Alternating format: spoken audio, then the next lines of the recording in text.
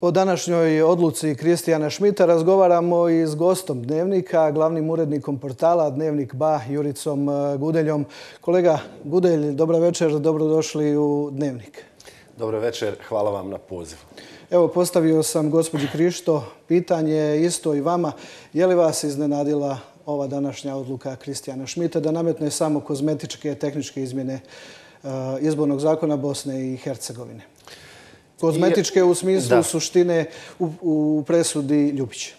E, da, iako je ono teško govoriti da išta ikoga u Bosni i Hercegovini može e, iznenaditi, poglavito ovakve, ovakve stvari koje se događaju, koje neprestano iznova i dodatno destabiliziraju ne samo političke prilike, nego općenito društveno, društvene prilike i u ovoga puta već smo vidjeli da to ide i u narišavanje sigurnosne situacije. Dakle, unatoč tomu što teško išta može čovjeka više tu iznenaditi, ipak se probudila neka u meni bila nada da bi ovoga puta visoki predstavnik po prvi put, valjda u povijesti postojanja instituta visokog predstavnika u Bosni i Hercegovini, mogao nešto učiniti dobro za Bosnu i Hercegovinu. Izmjene izbornog zakona koje su bile procurile u javnost, njihov nacrt, one nisu dobre samo za Hrvate. One su općenito dobre za društvo u Bosni i Hercegovini. Naime, mi danas imamo situaciju gdje se bošnjačka javnost i bošnjačka politika bune zbog toga što bošnjaci kao narod više ne bi mogli eventualno birati i zaslanike u federalni dom naroda Hrvatima, Srbima i svim nacionalnim manjinama. Posredno onda isto tako i za državni dom naroda. Posredno isto to vrijedi i za formiranje vijeća ministara i za vlade federacije. Dakle, njima nitko ništa nije oduzimao. Bošnjaci bi dalje popunili sami, oni bi izabrali ko će ih predstavljati u klubu Bošnjaka, ali nisu mogli dozvoliti i prijeći preko toga da i drugi narodi koji žive ovdje u Bosni i Hercegovini, što je također riječ o građanima Bosni i Hercegovine koji bi trebali bi imati ista prava, jednostavno nisu to mogli dozvoliti. Vidjeli smo reakcije brutalne, otužne, jednu strašnu histeriju, antihrvatsku histeriju, prijetnje ratom, brojanje koliko Hrvata je ostalo u Bosni i Hercegovini, u koliko vagona mogu stati, brojanje lovaca, upravljača dronovima i tako dalje. Dakle, vidimo, nažalost, da je visoki predstavnik pod svim tim popustio. Dakle, poruka koju smo naučili iz ovoga poteza visokog predstavnika je da se radikalizam isplati, nažalost. Dakle, Hrvati koji su cijelo vrijeme kooperativni, zadnjih 20 godina hrvatski politički predstavnici su kooperativni kad je riječ o ustavnim reformama, izmjenama izbornog zakona, evo što, u kakvoj poziciji se narod kojeg predstavljaju nalazi. Je li unitaristička politika bošnjačke političke elite razotkrivena do kraja? Pa ja ne znam više šta se tu ima razotkrivati, kome se više tu ima razotkrivati. Ja mislim da je ta politika razotkrivena još dvije šeste, najkasnije dvije desete, ako iko ostao ono, slijepac pored vlastitih očiju. Danas u 22.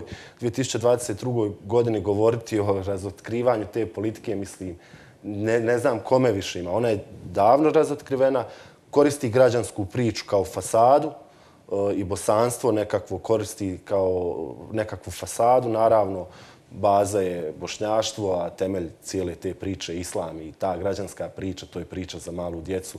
I njoj ona ima svrhu samo da pred strancima opravda političko nasilje koje bošnjaci provode nad Hrvatima, Srbima i nacionalnim manjinama u Federaciji Bosne i Hercegovine. Nakon svih ovih događaja kojima smo bili svjedoci zadnjih dana, hoće li međunarodna zajednica možda malo promijeniti svoju politiku? Može li se bošnjačka politika više kriti za tog pojma građanskog i kao jedinih branitelja Bosne i Hercegovine? Od koga je, od koga je brane? Pa očigledno brane od stanovnika, od građana Bosne i Hercegovine koji su nositelji drugog identiteta koji nije bošnjački. Dakle, od toga, od svojih susjeda brane koji žive s njima na ovome prostoru stoljećima.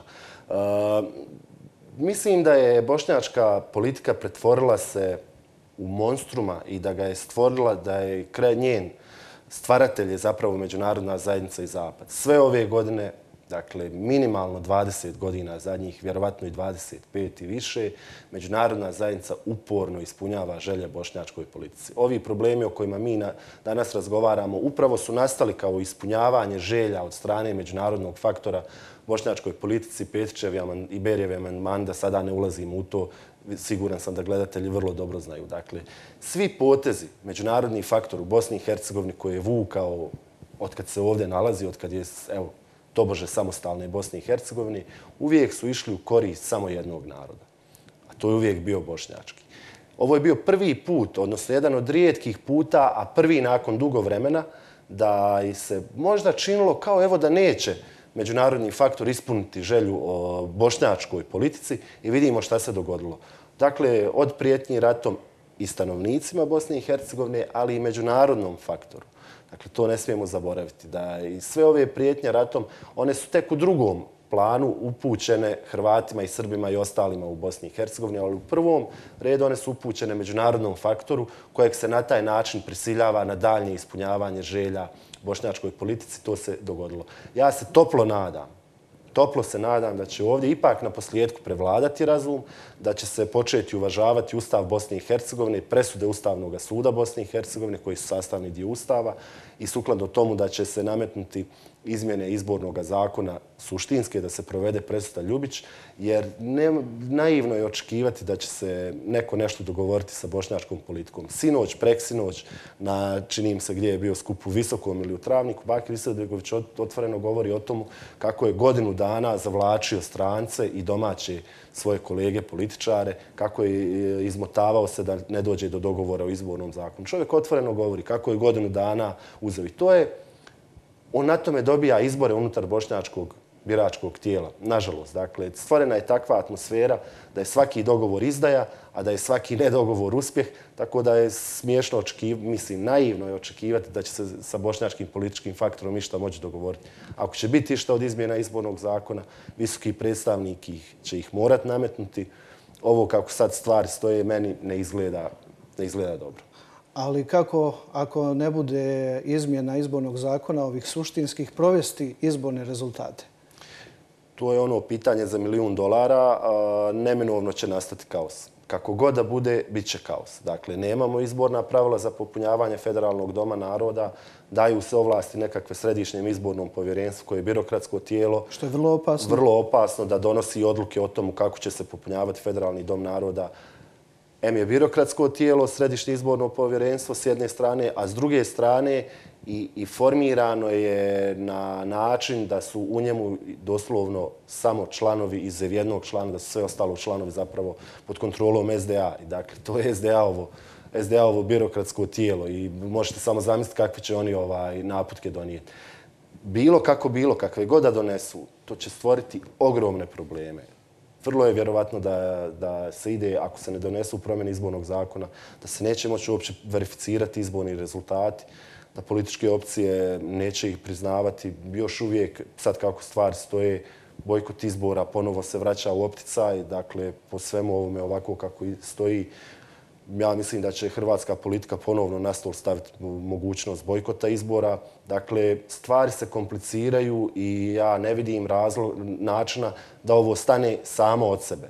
ako će neko ovo rješavati, to mora biti visoki predstavnik. Nažalost, i on je izgubio svaki kredibilitet. Evo vidimo, zapravo je da vidimo da je on postaje lutka bošnjačke politike, njihova zakrpa s kojom se oni zezaju, bacaju je tamo vamo, on nešto kao ljud. Mm, kod Srba je već izgubio... Da, da, da, lupa šakom mostu. Već izgubio kredibilitet kod uh, Srba, već odavno, oni ga odavno ne priznaju. Dakle, ako, ga, ako izgubi kredibilitet i kod Hrvata, to je sad rubna situacija, možda je već ga trebao izgubiti, možda je već trebao do sada ga izgubiti, evo nije, znači rubna situacija. Bošnjaci se sa njim ono, zezaju da, da, da ne kažem nešto grublju riječ koju bih zapravo treba upotrijebiti, ali neću jer smo na televiziji. Tako da vrlo, vrlo neizvjesno razdoblje je pred nama. Kolega Gudelj, hvala na gostovanju u Dnevniku televizije Herceg Bosne. Hvala vama na pozivu.